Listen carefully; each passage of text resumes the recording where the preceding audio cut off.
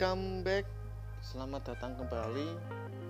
Di video kali ini, Mimin akan mengganti pompa oli Honda Tiger dari yang sebelumnya standar.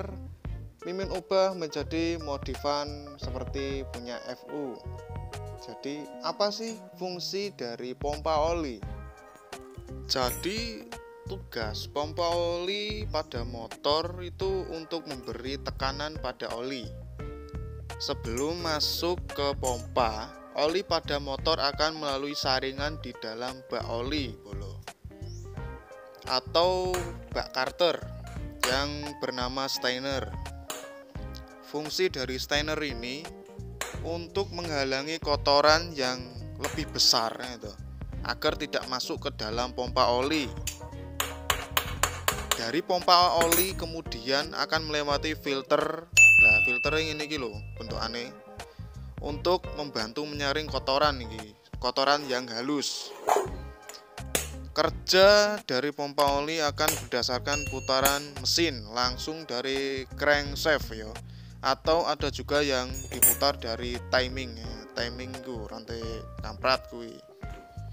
Dengan kata lain pompa oli memang berfungsi untuk memastikan bahwa oli telah melumasi seluruh komponen yang ada di dalam mesin. Jadi ki sirkulasi naik turunnya dari atas dari bawah ke atas, sorry sorry. Jadi harus terkena oli semua harus terlumasi ya. Dengan kata lain, pompa oli memang berfungsi untuk memastikan bahwa oli telah melumasi seluruh komponen yang ada di dalam mesin ya. Jadi ketika pompa oli ini rusak akan sangat mempengaruhi kinerja motor atau mesinnya.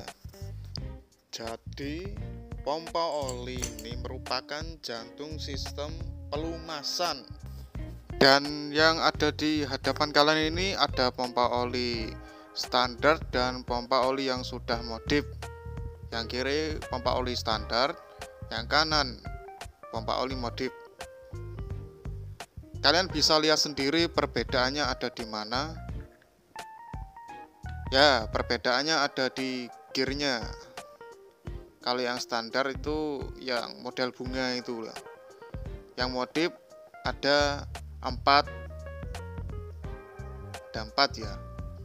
Dan yang standar itu ada 7 gearnya mata gearnya kecil-kecil. Jadi perbandingannya ini saya akan coba ya. Ini yang modif. Kita kasih oli. Ini semburannya berbeda yang standar bawaan sama yang sudah modif.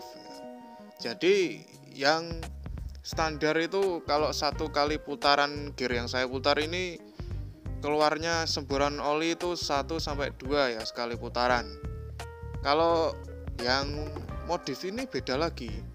Satu kali putaran itu sampai 3 4 semburan kalau yang modif ini. Lebih banyak ya daripada yang standar. Ya, Kenapa demikian ya? Karena gearnya yang tadi itu sudah dimodif agak besar jadi putarannya cepat ya. Seperti itu. Ya, jadi kelebihannya itu lebih cepat melumasi dan lebih banyak pastinya. Itu kelebihannya. Kalau yang pakai oil cooler itu wajib pompa oli seperti ini ya. Soalnya olinya itu masih muter-muter di selang terus kemudian ke coolernya itu kalau pompanya masih standar itu kurang maksimal. Kalau bisa modif seperti FU FU itu kan pakai oil cooler jadi ya pompanya semburannya itu harus dua kali lipat daripada standar. Misalnya yang saya pakai ini Honda Tiger kan tidak pakai oli cooler. Nah pengen cooler dimodif. Pasti pompa olinya harus menyesuaikan juga. Jangan intinya tidak asal ubah-ubah tidak asal pasang lah. Pasti ada komponen yang harus diubah juga mengikuti lah istilahnya. Ya jadi harus menyesuaikan. Jangan asal ubah-ubah jangan asal ganti. Jadi harus seirama sesuai. Kalau pengen cooler ya kekuatan semburannya juga harus lebih kuat dari yang sebelumnya boleh seperti itu. Oke sekarang kita fokus ke proses pemasangan. Ini cara pemasangan dan pelepasan bautnya murnya ini dengan cara diketok ya pakai obeng ketok.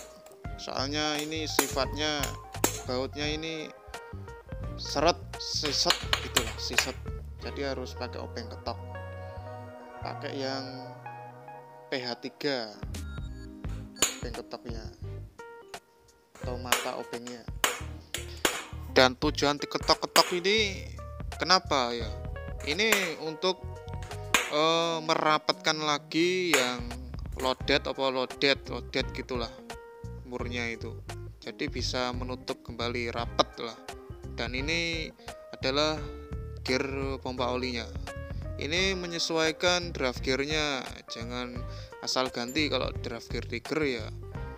Pakai draft gear tiger ini uh, berapa ya giginya? 34 lah. Dan masangnya ini jangan sampai kebalik. Kalau kebalik nanti olinya nggak bisa naik. Kayak sebelah itu masang ngawur. Bengkel sebelah bosku. Pes ajur. Nah sekarang kita pasang lagi murni atau bautnya kita pasang lagi bautnya oke. Pakai kunci T ya ini T8 jangan terlalu kencang-kencang nanti dol takutnya. Sesuaikan saja. Ya oke sip. Oke sip. Nah, kita pasang rotor olinya. Oke ini kita pasang sampai benar-benar pas dan kencang ya ini. Pakai kunci mahkota jangan dipalu. Bengkel sebelah itu main pukul panggil petik-petikan saja ngawur.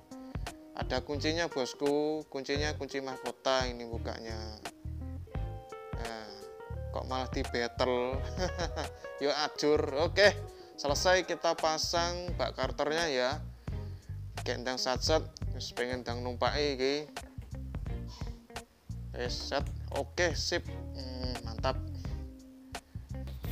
Dan jangan lupa bautnya dipasang kembali sebelum diisi oli.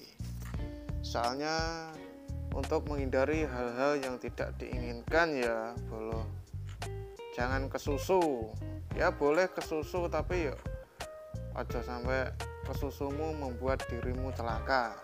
Oke masuk ra. Masuk dan ojo lali dikencengin ya dikencangkan dirapeti. Agak rapeti kok nyolot repot lah nyolot. Ya dikencangi dirapeti sampai bener-bener kencang.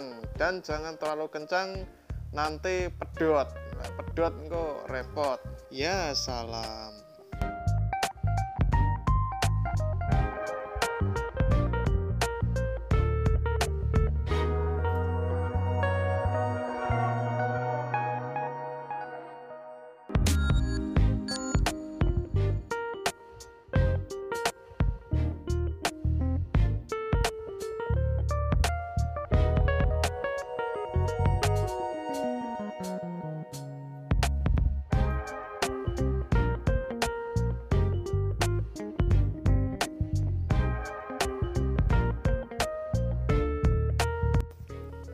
sekarang waktunya kita kasih oli kita tuangkan.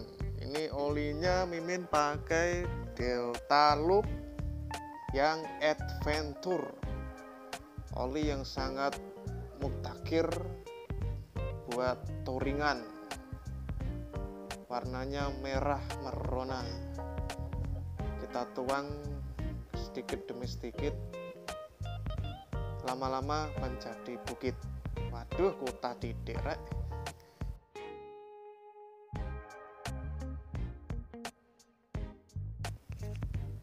Bibi, suwi mentok. Isinya ini berapa liter sih? Kok suwi ram? Yes, alhamdulillah agak lu wis entek tek tiba rek.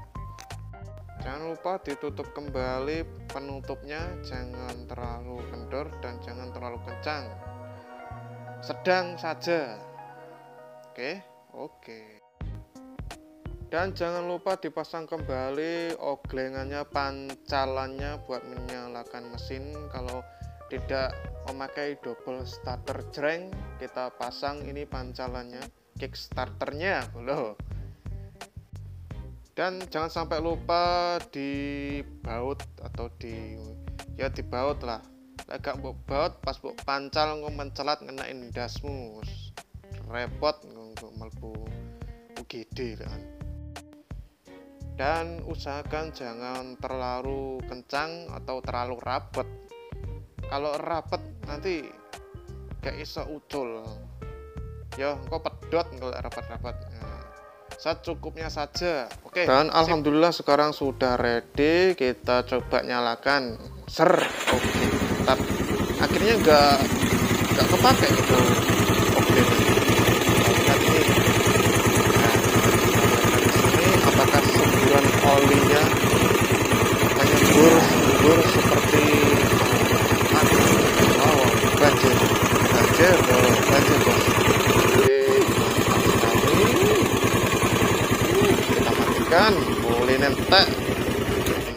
sok nguras oleh. Oke mantap. Oke sangat recommended. Wajib kalian coba. Oke sebelum itu dibantu subrek dan diklik loncengnya. Terima kasih. Sampai jumpa di video selanjutnya. Jangan lupa subrek sama tombol link.